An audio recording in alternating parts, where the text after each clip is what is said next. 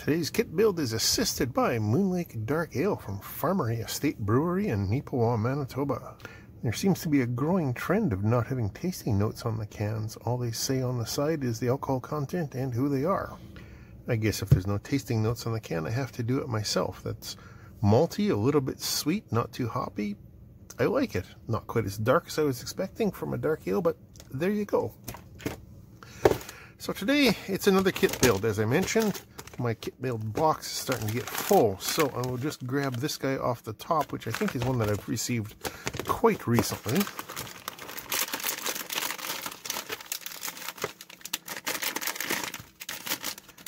There's no guessing what this is. It says right there, it's a DDS signal generator.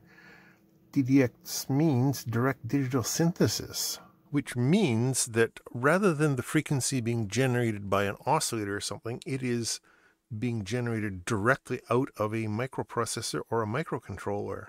The waveforms are either directly sampled and recorded in the microcontroller or synthesized within the microcontroller using mathematical functions and then output at a wide variety of frequencies, which is a little bit different than a direct analog synthesis, which uh, has some limitations to the frequencies that it can generate although there are ways of getting around it with just banks of components and whatnot to uh, get different ranges of frequencies. Doing a bit of digging, I was able to find this article from over a decade ago where this guy who, again, is not named as just admin from this website, um, he has come up with this project which, as I look through it, uh, there's the specs it uh, can generate sine waves, square waves, sawtooth waves, reverse sawtooth waves, triangle waves, ECG, which I'm going to have to look up, I'm not quite sure, and uh, different noise uh, patterns. It has a uh, 16 by 2 LCD, five buttons. It has it can adjust the frequency in single hertz steps or 10, 100,000 or 10 kilohertz steps, which is kind of nice, presumably from the menu. There is a block diagram. We have an AVR microcontroller in the middle, keypad, LCD, three voltages for the power, an R2R, which is a resistive network to do the digital to analog conversion, and then an offset and amplitude adjustment, which I'm assuming is that little chip that I just picked up off the bench. The one that I have doesn't come with a power supply, and this is the suggested power supply that he has. I'm going to do something a little bit different because we need three voltages. We need a plus 5 to run the microcontroller, we need a plus and minus 12 volts to run the amplifier, which I'm going to assume is an op amp since it's got that. Um, where's our schematic here? Yeah, it is an op amp down there. Okay. And there is the full schematic of the thing, which Again, just looking quickly at the circuit board I've got in front of me, that looks exactly like it, or close enough anyway that we can refer to this one. We have an ATmega 16P. We have this R2R resistive ladder here, which I'll jump over to the Wikipedia article in a minute. We have a crystal, which is clocking that and becoming the reference for it. We have some push button switches. We have the LCD connections up there programming there, although we're not going to do that because I'm hoping it's already programmed. And then we have the op amp down here, which is connected to the output of the R2R ladder, buffering and amplifying it and sending it out. Oh, and it looks like we've got an, a level adjustment there too. Okay, cool. So just to quickly look at what we've got in the kit, although we kind of saw that on the schematic, we do have an ATmega 16 there. We have a TL082 uh, dual op amp there.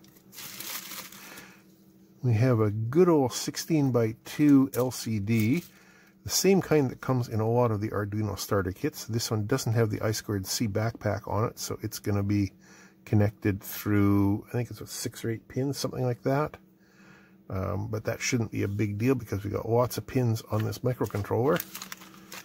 And then we have a bag full of other components, uh, all the resistors for the ladder, two different uh, resistances of them, a couple of random other resistors, two BNC jacks for the outputs.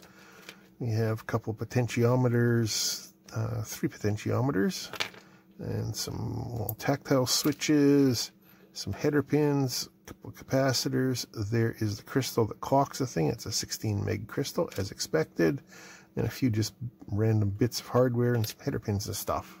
For as much as this guy is doing, it's not that complex a kit to put together. A beginner shouldn't be too intimidated by this. So I'll just get my board set up in my board holder. You don't absolutely need a board holder, it just makes it much more convenient. For years, I just worked uh, flat on on a workbench surface and that was fine, but this just makes it so, so much easier. So where should we start? I think I'll probably start with resistors like I almost always do because they are low profile, they're almost impossible to damage, they generally don't get in the way of anything else, and most of them are actually crowded together.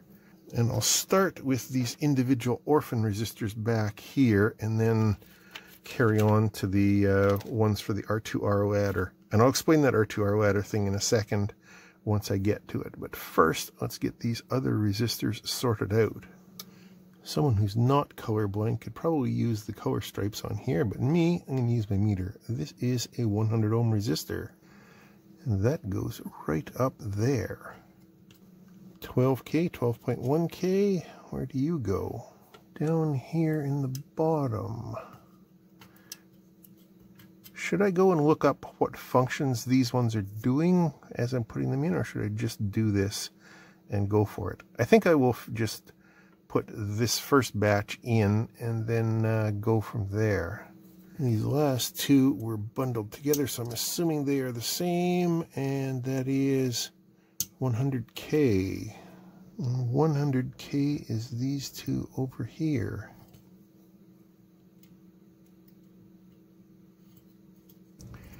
soldering with the medium tip that I will prefer to use. Something that always seems to come up in the comments is that people who prefer a different tip will definitely be letting me know that I'm doing it wrong. As long as it works for you, it's not really wrong.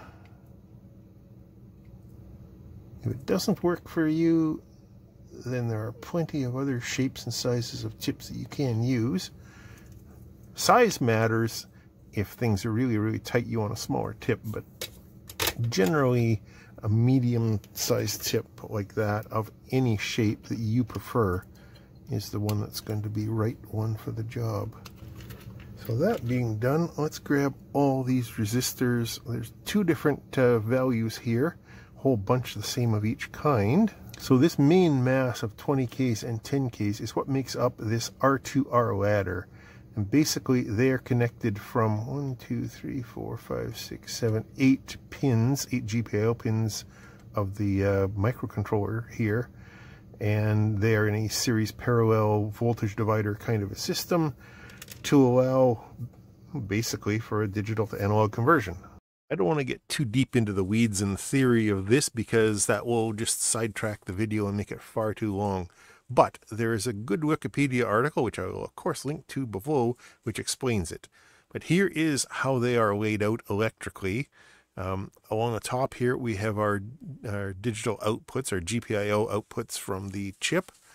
Um, ground on one end, we have V out on the other end, and it just works out to be a mass of series resistors uh, going to there and series parallel resistors set up all the way along that each, so basically each bit, each output of the GPIO would add a specific voltage level to the output to create the final output voltage. If you want to figure it out further, there's the math. Help yourself. That's as deep as I'm going to get into the theory of this. Might as well start with the 10Ks for no reason other than they're the ones that I've got in my hand. And those ones all go down here, except for this 120K at the end. So I'll drop all those in and actually probably solder them up. Then I will drop the 20s in and solder them up. You'll probably get a montage video of these just because it's the same thing over and over and over again. I don't have much more to say about it other than other than that.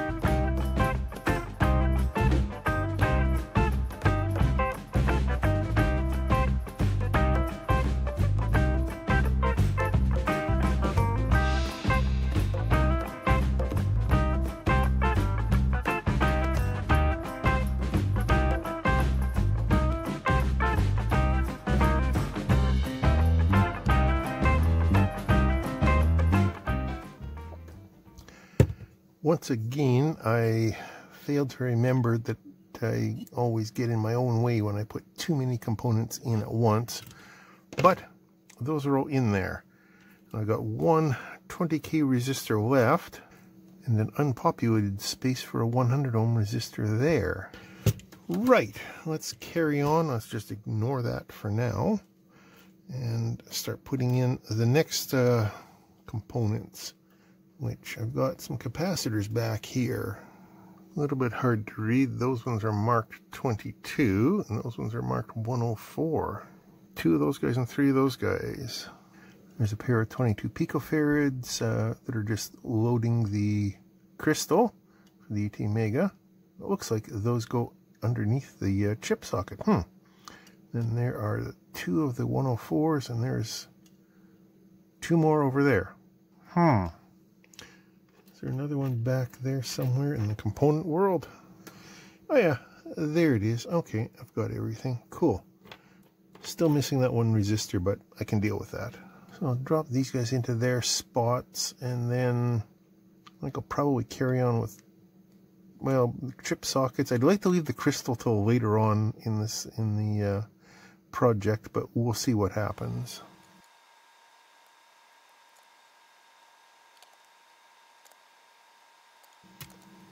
It's a little bit better for spacing of components to keep them out of my way or keep me out of my own way here. So next I think I'll put this potentiometer up there, which is this one. And then maybe chip sockets, I think, next. Uh, I'll leave the switches till later uh, and the connectors and whatnot till later just because they may be in the way of what I'm doing. It's labeled 103, which is 10 with three zeros after it, otherwise known as 10K. So that goes right up there. And that one appears to be connected between a couple of pins of the uh, of the LCD. So that's probably going to be the backlight dimming, if I had to guess. Let's grab the female header pins that are for that LCD. Put that up there. Also have to put some male header pins. Where are they? There they are on the back of the LCD to make it go in. As is often the case when I'm doing something large like this, uh, this female header pin uh, socket thing, I will just jam some Blu-Tack on there just to hold it from falling out while I flip the board over. And then because it is a big multi-pin thing, I'm going to solder one pin at one end of it. And then give it the old reach around here and give it a press down tight to the board. Okay, that's not going anywhere. Then I'll go to the far end. Do the same thing there clamp it with my finger, remelt the solder, push it to the board, there. And now you can see that there's no gap back there. It's all held nice and straight. Now I can just bang along here and get the rest of it soldered down. As I tend to do with large multi-pin things, I'm going to bounce around with the heat just so that I don't melt the plastic of the connector on the back by concentrating the heat all in one place all at the same time. I also do that with uh, chip sockets, with chips themselves if I happen to be soldering them directly to the board. There, that worked fairly well. I don't see any solder bridges or other untoward blobs. For getting the pins to sit straight on the back of this, I am going to plug the, uh, the pins into a breadboard here. This one has been beat up by soldering on top of it, so I'm not concerned about that. So I'll just make that nice and square and get busy soldering down these pins.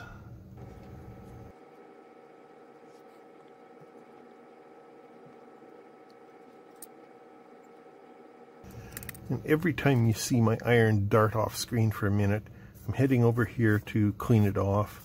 Just brushing it off in the damp sponge and then giving it a quick scrub in the brass or copper or whatever this uh, this stuff is just to keep it nice and clean so you get good heat transfer and uh, make a nice quick clean solder joint. So that is ready to go on there later when we need it, but that is not for now. I think the next thing to do is probably get this chip socket. I might as well do both chip sockets, I guess. So the silk screen shows the a little notch on the end of the chip position there, indicating that pin 1 is at this end. You notice that uh, that pin is a different shape uh, pad. That's not always the case, but in this case that also indicates pin 1. And then on the socket there's a notch there.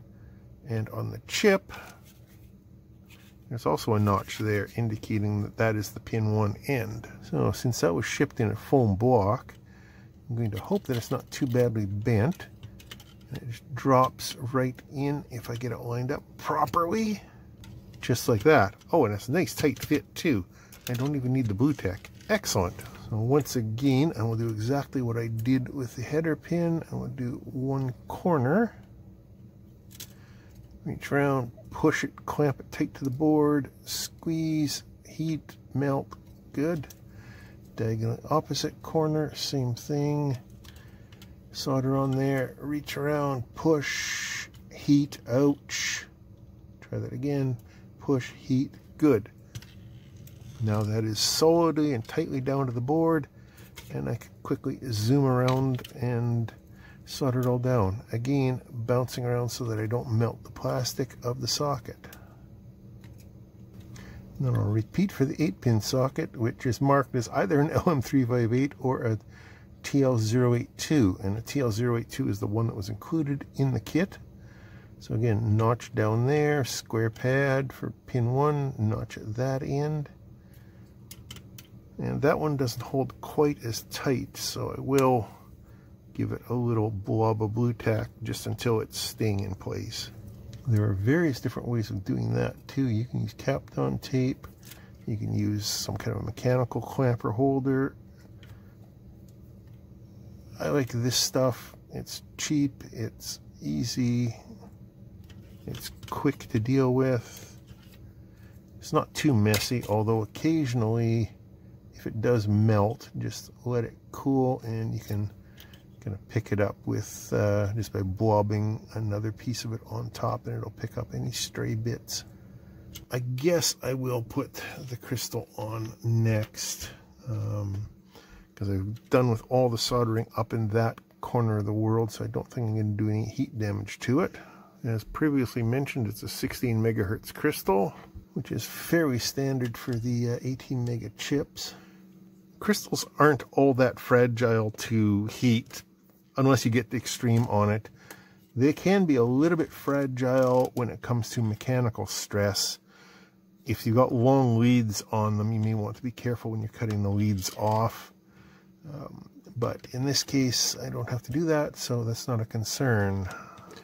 Now then, that one 100 ohm resistor that I couldn't find, I'll just grab one out of my stash here. Always good to have parts on hand. You never know when you're going to need them. That is a much lower water resistor, but that doesn't matter in this application. There's very little current going through anything in here as long as the resistance is right and my box says it is right, so we'll go with that. So next, I think I will put the two potentiometers on there. The board says that one's 50K and that one's 1K.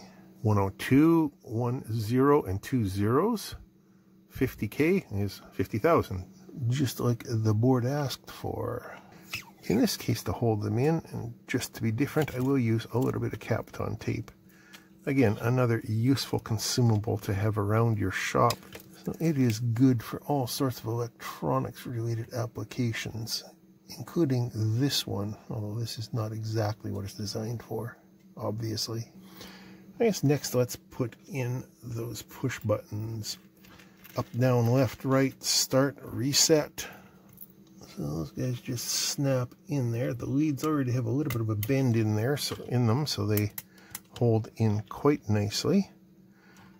Let's get them all dropped in and solder them quickly too.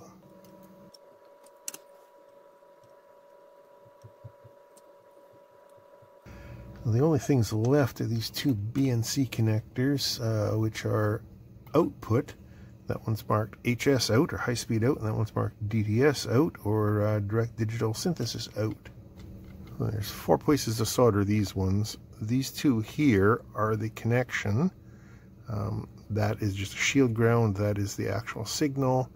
And these two are just mechanical. They're going to take some extra heat, so I'm going to want to be a little bit more careful with those when I'm soldering them so that I don't accidentally do some damage to something.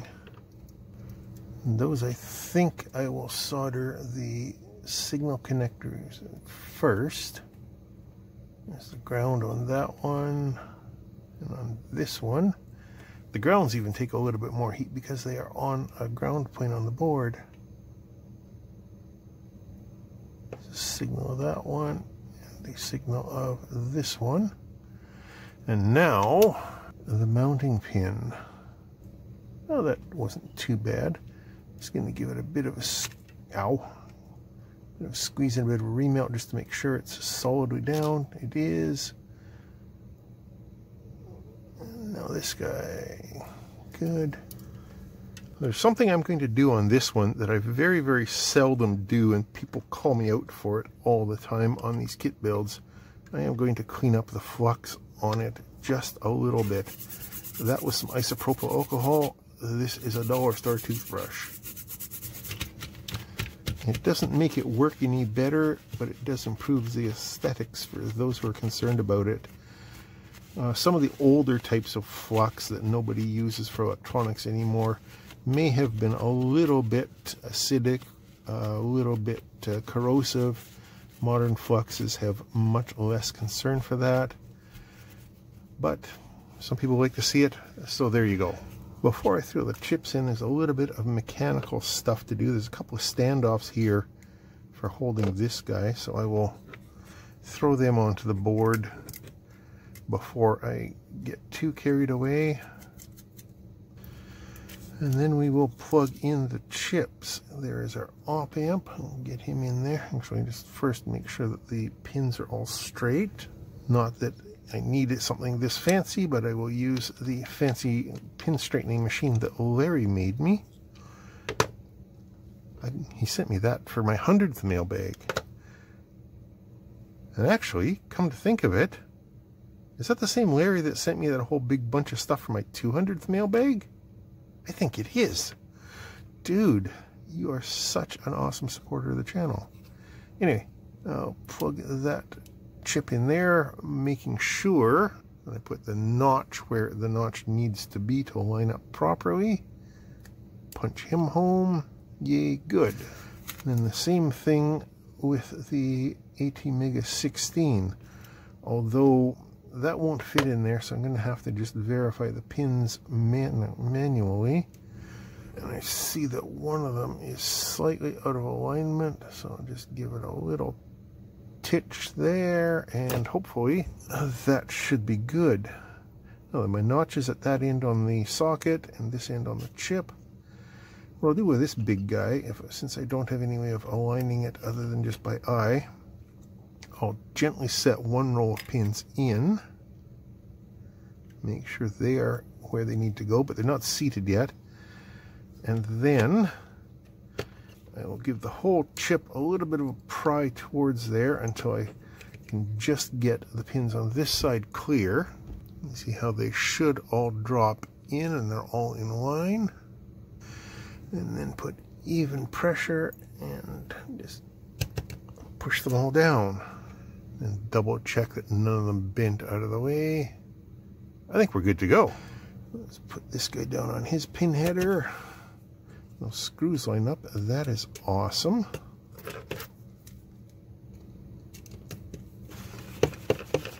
There, I think we are complete. Don't really need those nuts on the potentiometers unless I put it in the case, which I may do eventually, but not today.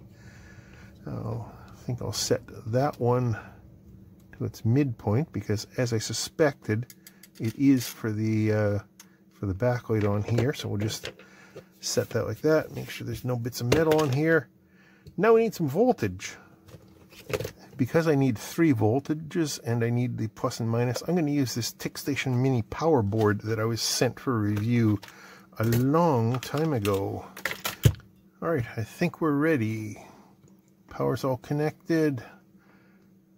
Power on. Hey, hey, it's doing a sine wave. Cool. So let's see what these up and down, high speed, noise, frequency step, ECG, I don't know, reverse sawtooth, sawtooth, triangle, square wave, sine wave. So up and down chooses from them, right and left. Oops. Uh, hit the right button, that steps it up. That's the left steps it down, start, turns it on and off. And the reset button reboots the processor. Okay, let's connect a scope probe up to this thing and just see what it looks like. So right now I've got a 6K square wave turned on there. And just adjust the amplitude a little bit. So there we go. I think, is that measuring that as a 6K square wave? 5.997K, close enough. And if I adjust the amplitude, yeah, that works. What is this offset? Was it the DC offset? Uh, what else do we have here? Let's change that to a, well, let's go to a sine wave. Yeah, like any sine wave. Oof, that's ugly. Doesn't look like any sine wave that I've ever seen before. Uh, let's freeze that. Wow, yeah, that is a very rough approximation of a sine wave. Wow. Let's see what these other ones are. Well, square wave we saw. How about a reverse sawtooth wave? Um, yeah, that's not really what I would expect of a sawtooth. Regular sawtooth. Look the same triangle wave on. Not really a triangle wave I mean there's a few bits there but I mean yeah if you squint hard enough maybe. All right significant time has passed and significant amounts of troubleshooting have been done but I found my error you remember way back many minutes ago in the video, hours ago for me, I uh, discovered that I didn't have a 100 ohm resistor and I had an extra 20k. Well, the 100 ohm resistor is the one I have in my fingers and I found that I had accidentally soldered it into this position here, which is where a 20k should go. The resistor in question is this 20k right here. And I had replaced it with a 100 ohm resistor for reasons. I don't know. I don't have an excuse for that. If you want to scroll back in the video and find it, go right ahead. But anyway, so that was causing this GPIO here to overwhelm pretty much everything that was happening up here. And that's why I was getting such a goofy trace.